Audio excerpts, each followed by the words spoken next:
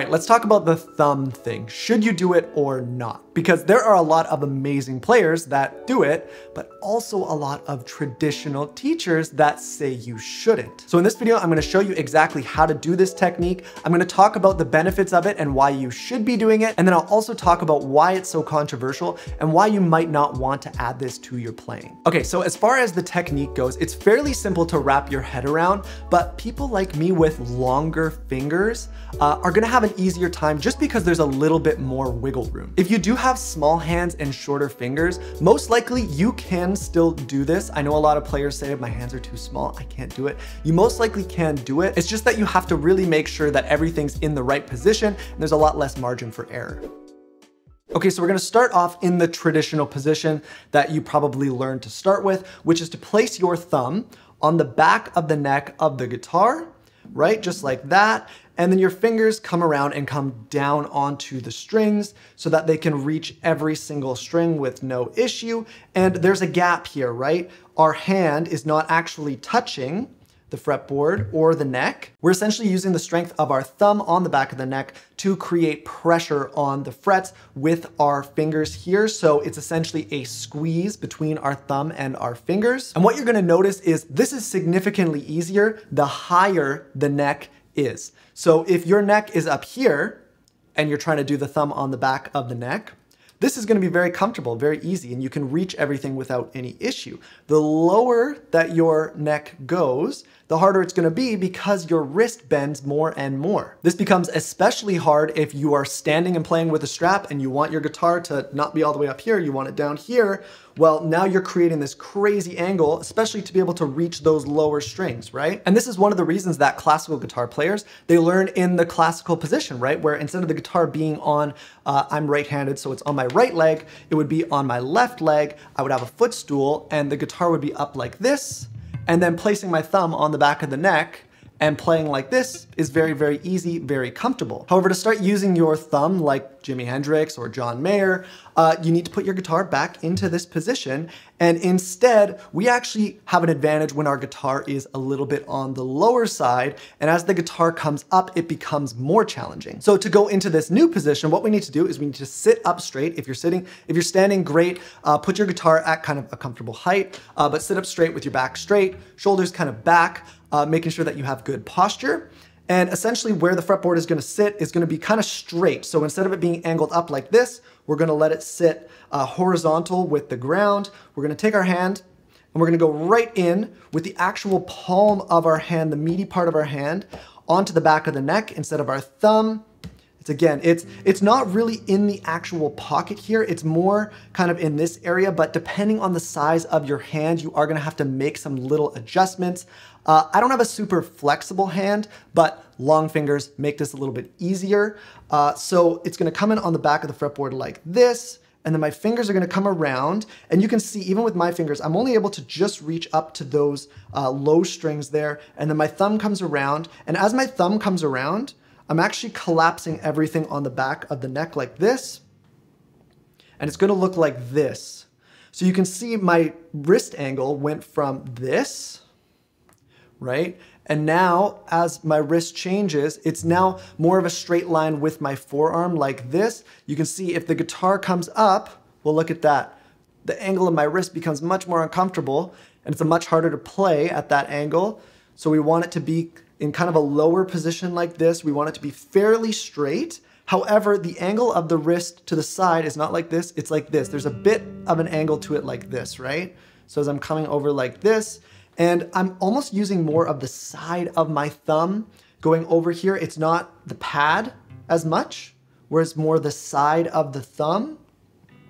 And that's essentially gonna be my fretting tool right there. It's kind of the hard part of the knuckle. And again, you're gonna have to make some adjustments because if you're too far up like this, you're not actually gonna be able to fret comfortably. It should be pretty low effort. And if you're too far back, you're obviously gonna be reaching around and you're gonna have a hard time actually getting that note to come through cleanly. You're not able to take advantage of the knuckle there that gives you that right angle to get over. And to kind of couple this technique up with one of the main advantages of it, uh, I like to test this out with like a basic bar chord, so an E major bar chord shape that you would typically play like this, right? So this is a G major chord nice and clean as a regular bar chord in the traditional position, right? My thumb is on the back of the neck.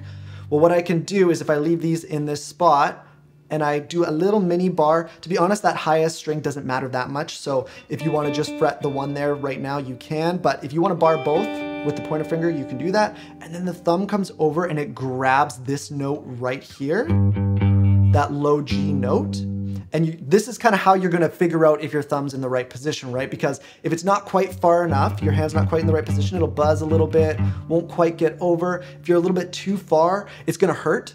Uh, you're gonna find that it hurts the side of your thumb. Regardless, it might not be very comfortable. It's kind of like learning a new stretch. It's gonna hurt a little bit, that's okay. A little discomfort is okay. Pain is not okay. So if you're feeling pain, either I would say skip this technique altogether, uh, or it just means you need to make some minor adjustments. For me, I can do this for hours and hours and hours and hours, and it's actually way more comfortable than uh, playing with my thumb on the back of the neck. I find that I'm straining a lot less. You, might be different. Uh, but again, it should be a very relaxed feeling. And so the thumb comes over and it's just fretting this one here, even though it's touching the next string for me. So if I were to release all that, it's still touching that next string. Yours doesn't have to, it just has to get that low E string. If this whole chord is a little bit too challenging for you right now, that's totally okay. Maybe just start with focusing on just the thumb and making sure your fingers are coming over and reaching the strings, but they can just sit uh, relaxed on the strings, just kind of muting. And then that thumb can come over and you can just practice getting that to make sound. You can try shifting your hand up and just getting used to how much pressure you need to create. Uh, instead of creating pressure, right, with your fingers and your thumb and doing a squeeze like this, instead, because of the position of your hand, you're actually pulling your thumb back into your palm a little bit.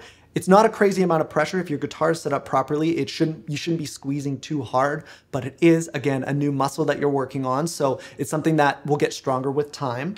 Uh, and essentially now, instead, when you put the pressure on with your fingers as well, you're actually pushing against the palm of your hand. Instead of pushing against your thumb, it's now pushing against the palm of your hand. Feels a lot more like you're holding a baseball bat or holding onto a stick and you're holding and you're actually able to use a little bit more of your grip strength rather than using like pinch strength. If you're struggling to get this to work, like I said, it's easier if you have longer fingers. Your fingers might be too short, but basically you need to have uh, like a kid size hand for it to be too short, especially on an electric guitar. So keep playing around with it and kind of try and get yourself into the position that works for you, but really look down at your the guitar's neck and look at if you're pulling up on it like this, it's gonna be way harder. Uh, if you're too low, it's also gonna be harder because you're gonna have a harder time getting those fingers around. Uh, and just play around with where that is. You can see my elbow kind of sits in the most natural position. It's not hugging up against me like this. It's just kind of hanging down. I'm not going out like this. Uh, if your elbow's too far out trying to maybe create pressure, that's gonna cause some issues. Uh, it should be in, but not tucked in tight, and everything should be loose all through here. Everything is loose. Again, there's a bit of an angle from my wrist here, so you can see there is this little angle here. We don't, it's not gonna be perfectly straight on with the thumb, uh, but it should feel fairly natural. I think the first advantage that we can talk about uh, is the bar chord thing, because a lot of times, especially if you are gigging for long periods of time, you're playing a show, or you just want to improve your overall stamina, a technique like this is gonna help massively. Uh, if you've ever tried playing bar chords uh, through an entire song, so let's say three or four minutes of a song, and it's all bar chords,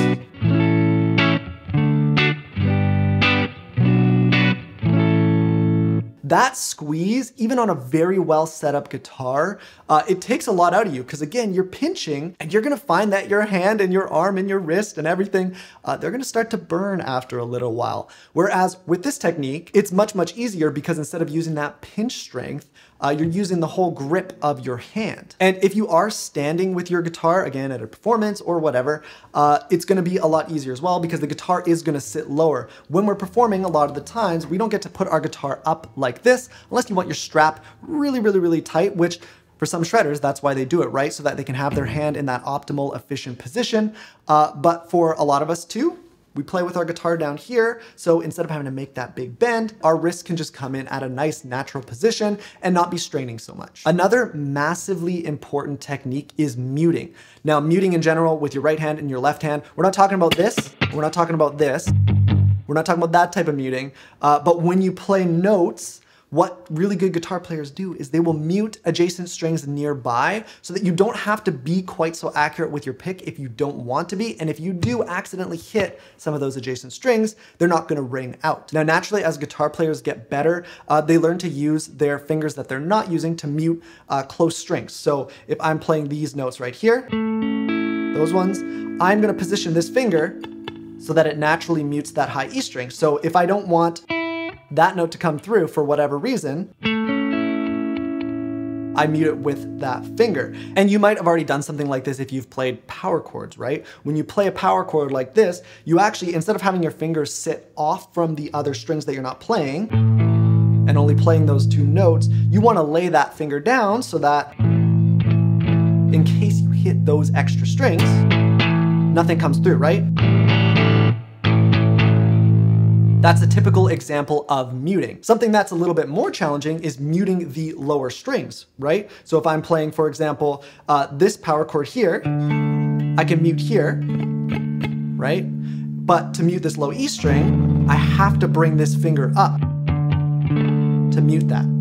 So that's kind of the only way that I can do it. If you start using your thumb, then obviously that becomes a tool that you can use for muting as well. When I play a D chord, for example, uh, how am I gonna mute the E and A strings, right? So I wanna play just the four string that I'm supposed to in a D major chord. Well, how am I gonna get my pinky? That is incredibly uncomfortable to try and get that to just touch those strings and mute them. So what I do instead is I just bring my thumb over and I'm not squeezing, I'm just letting it touch, just like that. And then I don't have to pay so much attention to my hand over here. Uh, so if I'm performing or whatever,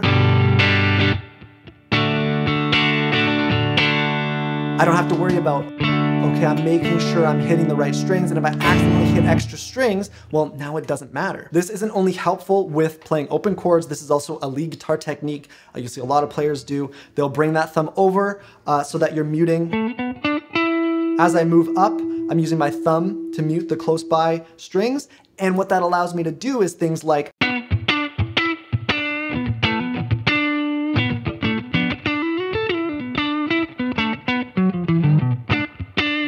And that kind of gives me a good little segue because you might have noticed what I did.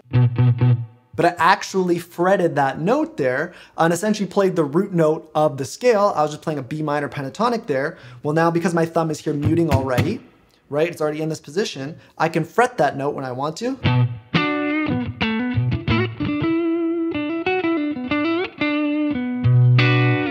It's an excellent little tool that totally frees up an extra finger. Uh, so instead of having to go, I can go.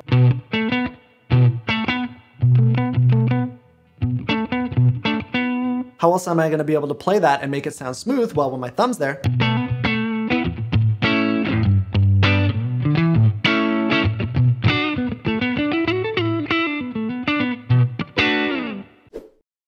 So with this technique, you're essentially trading efficiency for access. And there's a reason why guitar is taught using the traditional method of taking your thumb and putting it on the back of the neck. This is because when it comes to developing speed and accuracy, this is far superior, right? Because as you move from one string to the other, that's very easy to do when you're in this position with your thumb on the back of the neck. The actual technique and what your fingers are doing and how it feels doesn't change, right? When you're down here on the low strings, it's the exact same. Your hand is essentially in the same position. You're just kind of tilting your wrist to reach all the strings. When you bring your thumb around over top the other side of the fretboard, all of a sudden, if you were to play the same thing here, you're actually employing totally different muscles. You're training your hand and your fingers uh, to do something very different. It's going to feel quite different. And if you imagine when you're trying to get really fast at something or play something very accurately, you don't want to be splitting your muscle memory between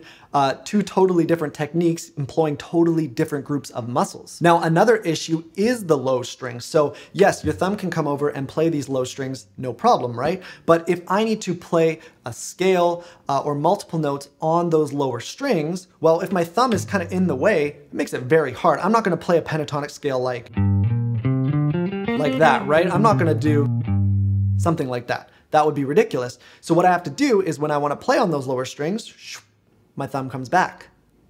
And then when I want to fret those with my thumb, my thumb comes back up. So this is not a permanent position that my thumb can stay in when I'm playing. Yes, hmm. it's comfortable, it's easy, it makes a lot of these chords very easy, but then if I wanna play certain things, my thumb goes back and I go back into that traditional position. And this shows why this technique is not a direct replacement because you still need to do that. Splitting your time between both positions is gonna make you a little bit less efficient. It's really just building a bad habit into your playing. So you kind of have to think, do you want that trade-off of comfort and access and being able to play some of those cool rhythmic things, use it for muting and things like that? Or do you want to be able to have that optimal efficiency, be able to play scales very fast and be able to learn things a little bit faster? Because even if you do want to do this little thumb trick, you're still going to need to learn how to do the traditional method. Personally, I think this is worth it for my style of guitar playing. Whether it's something that you want to add depends on your goals and who you idolize, who you want to sound like, and the type of guitar playing that you want to have in the future. But remember, both come with their advantages and disadvantages. So what do you think? Is this a technique that you're gonna start using in your playing? Let me know in the comments below. And if you're wondering what to watch next, YouTube uses its magical algorithmic powers uh, and thinks that you're gonna love this video right over here. I appreciate you watching and I'll see you in the next one.